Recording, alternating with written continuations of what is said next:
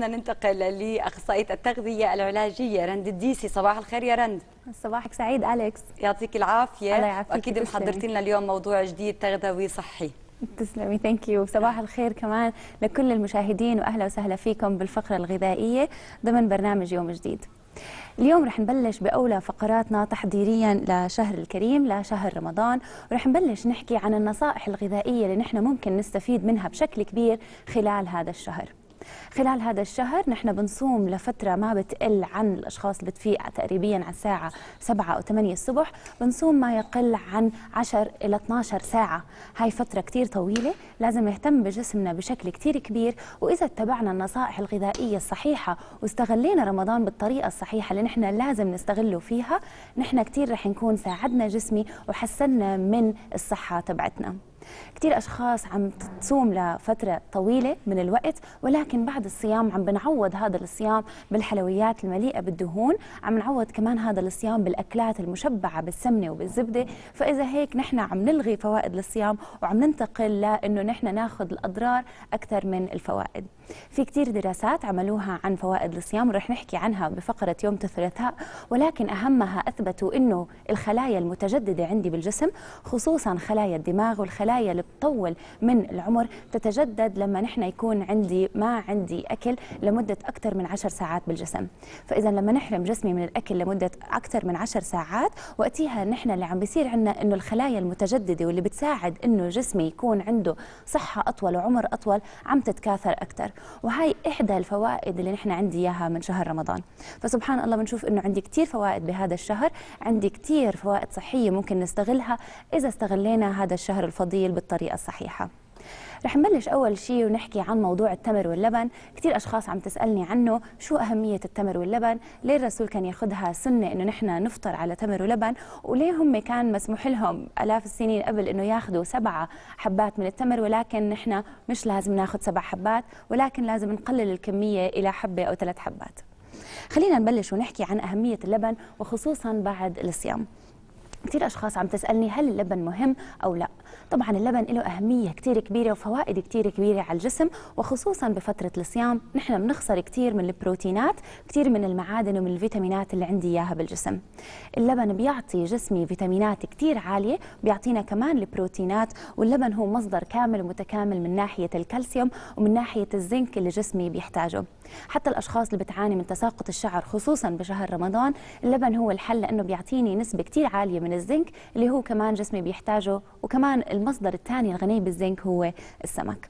فللأشخاص اللي عم تاخد عم تحتاج نسبة بروتينات عالية للأشخاص اللي عم تخسر نسبة كبيرة كثير من البروتينات خلينا نتذكر إنه اللبن بيعطيني هاي البروتينات وبعوض جسمي عن الخسارة اللي خسرها خلال الصيام. بأول ساعات الصيام نحن بنستعمل السكر المخزون السكر اللي بيكون عندي بالجسم مخزن بالكبد وبعد ما يخلص هذا المخزون ببلش نستعمل الدهون لحتى يعطيني هاي الطاقة. فإذا نحن بنخسر بشهر رمضان سكريات كثير عالية بالدم بنخسر الدهون المتراكمة بالجسم ومصدر ثالث بيكون للطاقة والمصدر الأخير للطاقة هي البروتينات اللي عندي إياها بالجسم.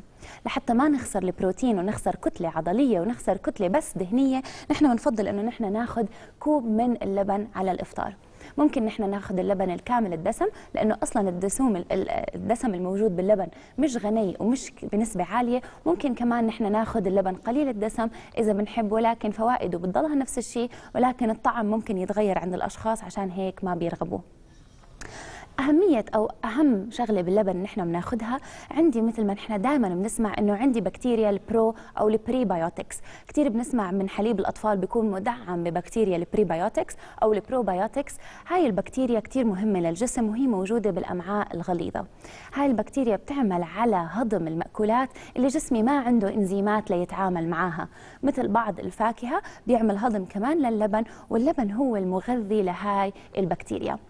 طبعا مع الصيام لفترات طويلة جسمي بيخسر كثير من هاي البكتيريا لأنها بتموت بعدم التغذية لفترة طويلة بتزيد عن العشر ساعات.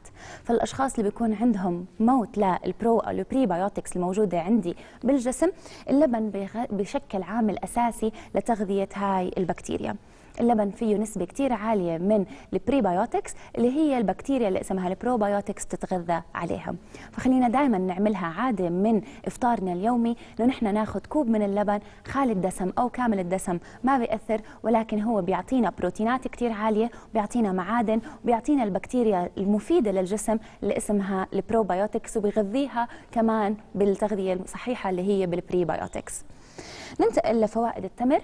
طبعا فوائد التمر عديدة وكاملة متكاملة من جهة إنه بيعطيني طاقة كتير عالية وسكر جسمي بيحتاجه. وبنفس الوقت اللي نحن بنلاحظه إنه للأشخاص اللي عم تاخذ الخليط أو ال combination ما بين اللبن مع التمر. نحن بنقلل من حدية السكريات الموجودة بالتمر. التمر بيعطيني نسبة ضئيلة من الحديد ولكن بيعطيني حديد.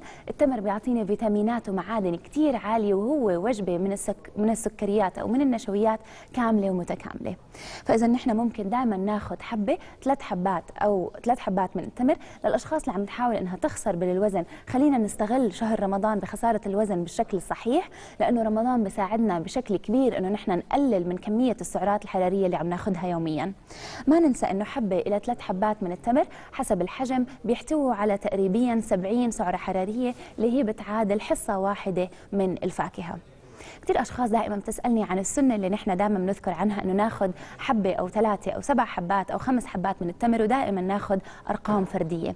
في دراسة واحدة أثبتت إنه هاي السكريات الموجودة بالتمر نحن لما نستهلكها وجسمي يستهلكها إذا استهلكناها بالعدد الفردي بتتحول إلى طاقة وبنحرقها دغري.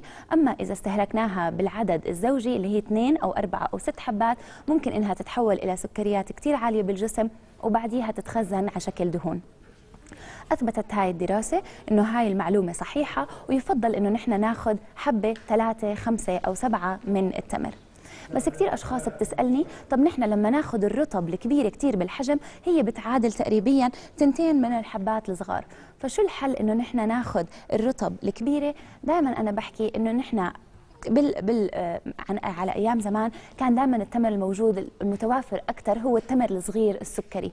فنحن حتى الدراسة اللي أثبتت عليها هاي الدراسات كان الحجم التمر تقريبا ما بيتعدى التمر الصغيرة أو نحن بنسميه السكري مش الرطب الكبيرة. فإذا نحن ممكن ناخذ قاعدة إنه للأشخاص اللي حابة تستهلك التمر الصغير ممكن ناخذ حبة أو ثلاث حبات إذا بدنا ناخذ رقم فردي. أما الحبة التمر الكبيرة اللي هي بتيجي كبيره الرطب هي بتعادل ثلاثة من الصغار فممكن ناخذ ناخذ حبة واحدة لناخذ فوائد التمر بنفس الوقت نتبع سنة الرسول عليه الصلاة والسلام وبنفس الوقت نحن ما نؤدي إلى زيادة كثير كبيرة بالجسم. من باب تحضير جسمي لشهر رمضان. وكخطوة أولى نحن ممكن نبلش فيها بعيدا عن تقليل القهوة والدخان رح نحكي عنهم كمان بفقرة يوم الخميس كيف نحن ممكن نقلل أو نسحب من جسمي تدريجيا نسبة النيكوتين اللي كتير عالية ونسبة الكافيين اللي نحن جسمي بيدمن عليها وبصير بيتطلبها بشكل يومي.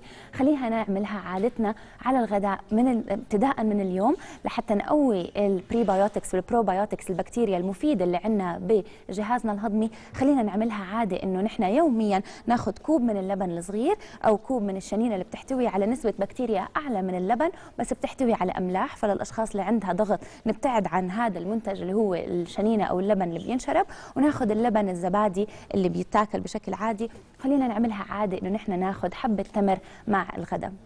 جسمنا لازم نعطيه فترة للتعويد على التغييرات بالصحة الغذائية أو بالطرق الغذائية وما نبلش فيه فترة من فترة واحدة وبفجأة نغير كثير تغييرات. فإذا التغيير الأول رح نبلش فيه تحضيرا لشهر رمضان إنه نحن ناخذ كوب من اللبن وحبة تمر صغيرة كل يوم قبل الغداء. إن شاء الله نكون استفدنا بهاي المعلومات عن شهر رمضان الكريم. وخليكم معنا بالفقرات الجاية لنحكي عن معلومات أكثر تحضيريا لهذا الشهر الفضيل. نهاركم سعيد جميع المشاهدين وبنرجع لزملائي لانا والكساندرا لنكمل برنامج يوم جديد. شكرا لك رند الديسي على هاي المعلومات القيمة وإن شاء الله يا ربي رمضان عن جد بيجي بيحمل كل الخير لكل آه كل الناس. ومشاهدينا بدنا ننتقل لتقرير نصيحة تجميلية من إعداد الزميلة مي نسور خلينا نشوف هذا التقرير وبنرجع للأستوديو. خليكم